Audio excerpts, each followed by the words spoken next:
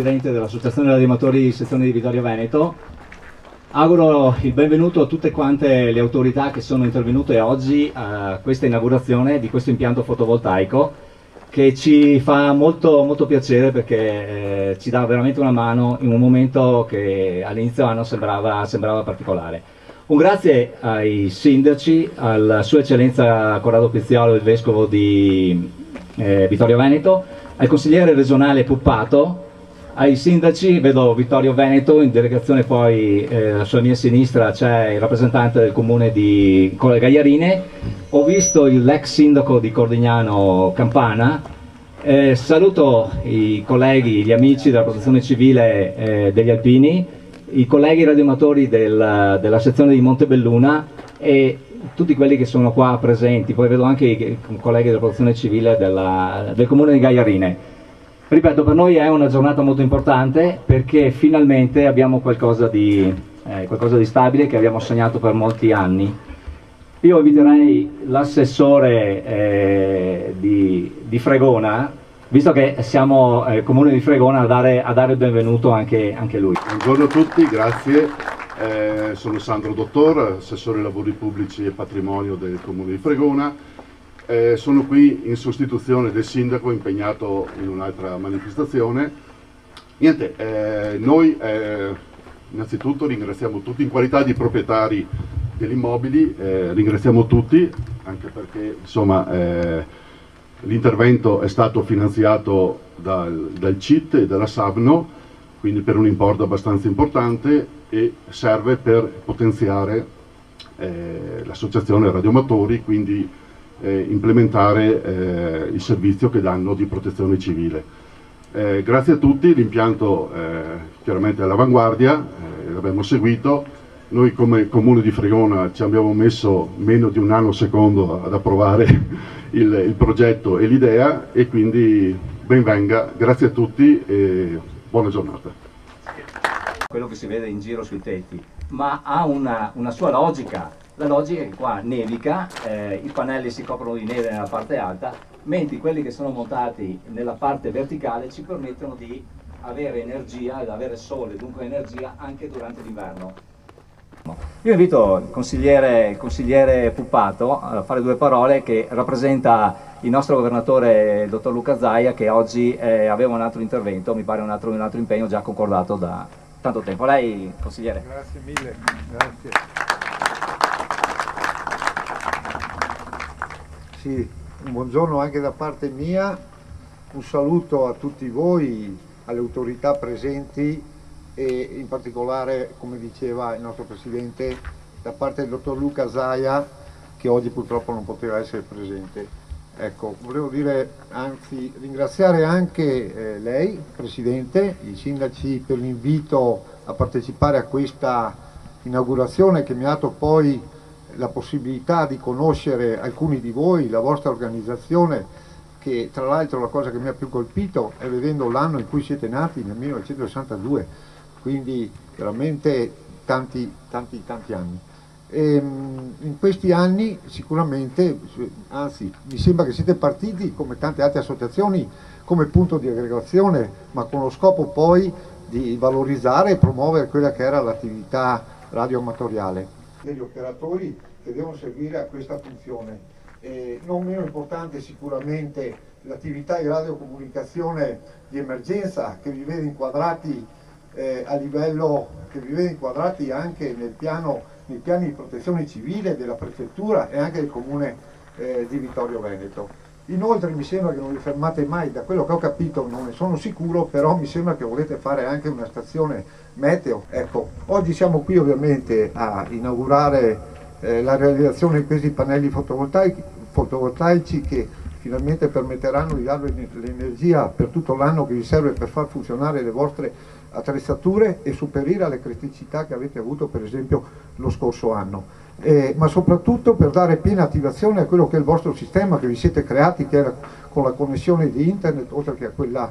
che a quella radio. Mi sembra attraverso un ponte radio perché non sono un tecnico in materia, non conosco bene ma ho capito che il sistema è veramente, è veramente eccezionale. Ecco, io quindi vi faccio un plauso innanzitutto per il fatto di aver creato questo sistema che permette di garantire un, collega un collegamento oltre a quello radio, come invece fanno da tutte le altre parti, ma un doppio applauso anche per ho saputo che vi siete autofinanziati con risorse proprie per questa nuova tecnologia.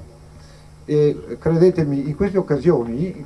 eh, praticamente di inaugurazioni, di manifestazioni, io mi sento orgogliosamente veneto, come lo sarete tutti voi, perché un Veneto all'avanguardia, un Veneto innovativo come quello di oggi, dove proponiamo questo tipo di attività, ma soprattutto un Veneto generoso per la quantità di, di volontari che avete, a questo va un grande applauso perché dedicano il loro tempo al bene della comunità. Se pensate che in Veneto uno su cinque fa il volontario vuol dire che abbiamo numeri da record come mole di persone e come numero di ore date alla comunità. Auspicherei, confido, che questo servizio possa essere esteso in tutta la regione e non vorrei dimenticarmi, visto che ho davanti il Presidente De Luca, di ringraziare la Sabno, di ringraziare il eh, CIT, il Consorzio TIM, i rispettivi Presidenti per il supporto che avete dato a questi volontari per realizzare questa ottima, questa ottima cosa. E mi sto dimenticando una cosa, forse importante, volevo dire, quello che avete fatto è un lavoro di squadra eccezionale, perché non sempre ci si riesce. Fare squadra è fondamentale, lo dice sempre anche il governatore Zaia, da soli si fa prima, ma insieme si va molto più lontano. Io voglio dire che è tempo anche che la politica si occupi un po' di più del volontariato e su questo mi impegnerò sicuramente in Consiglio regionale, essendo anch'io un volontario da tanti anni, e quindi capisco benissimo i vostri sforzi. Vi lascio augurandovi che possiate continuare su questa strada, che poi quella che vi ha visto tutti quanti essere parte attiva del progresso inteso in senso generale non solo di questa provincia ma di tutto il Veneto. E quindi la Regione vi è grata, lo dico io, grazie a tutti voi di cuore da parte del nostro governatore Luca Zaia. Grazie ancora. Prima di cedere appunto la parola a De Luca, eh, due parole eh, su quello che noi faremo con, con, che poi anche il consigliere Pupato ha accennato, che la nostra rete si chiama, tecnic tecnicamente si chiama RDN, è un acronimo, però è una rete wireless a banda larga che permette dei collegamenti eh, tra i centri operativi misti, i ex-com, che adesso cambieranno nome, e la CCS, il centro coordinamento soccorsi, che in questo caso è presso il comando dei vigili del fuoco di Treviso. È una rete innovativa, qualcosa che finora eh, in Italia non c'è, eh, sta avendo grande successo in America dove, dove, è nata, noi la stiamo implementando e questo impianto ci garantisce di, eh, di dare piena eh, attuazione a questo piano e rendere quest'area del Vittoriese che è particolarmente sensibile per quanto riguarda i rischi idrogeologici eh, renderla eh, indipendente dal, dalle comunicazioni in caso di qualche eh, evento grave e la possibilità di comunicare anche a, tra di loro a tutti quanti i sindaci. Presidente, a lei. Buongiorno a tutti, eccellenza la saluto di nuovo e grazie a essere in questo posto meraviglioso in cui io potrei parlare qualche volta, sì, perché sono stato forse quello che questo, questo territorio l'ha portato al comune di Tremonti però voglio rettificare quello che ha detto Puppato, non era il comune di Trenona, perché senza l'aiuto indispensabile, e qui lo dico e sapete che mi costa fatica dirlo, lo dico perché è giusto dirlo, senza l'aiuto assoluto, totale del Presidente Zaia quest'area qui non sarebbe nostra. E non sarebbe così bella perché veramente è stato l'unico che mi ha confortato in queste idee perché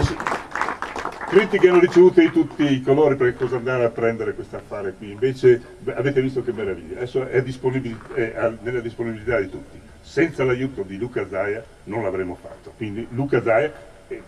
dietro anche lui c'era Tony Re logicamente, quindi questi due personaggi meritano anche il più caloroso applauso e sempre il mio grazie.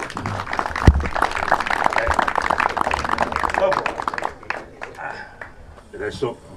godiamoci questo posto qua, io vi ringrazio tutti, vedervi tutti quanti qui è sempre una, uh,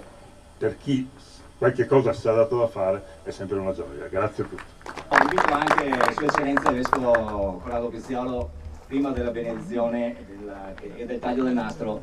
anche lui due, due parole. ho imparato varie cose in questa occasione. Ho imparato primo che i radioamatori non sono delle persone che hanno un hobby e si divertono. Io ricordo un mio zio morto giovane nel 58 e ricordo che da piccolo vedevo che trafficava con la radio a galena e mi faceva sentire quando andavo a trovarlo queste voci che uscivano da una scatoletta che io restavo. E mi sono sempre fatto l'idea che i radioamatori fossero così, delle persone che volevano divertirsi, invece mi sono reso conto, non da adesso, ma oggi ne ho da prova ancora di più, che non sono solo dei, delle persone che hanno un hobby, ma persone che, sono, che mettono un loro,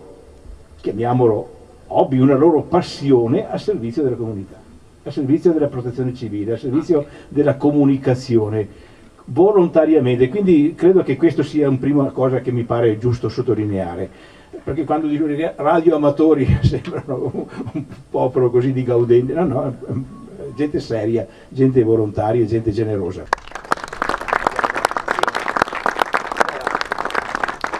Allora, eh, prima del taglio del nastro eh, facciamo la benedizione sia dell'impianto fotovoltaico e anche del nostro nuovo mezzo che...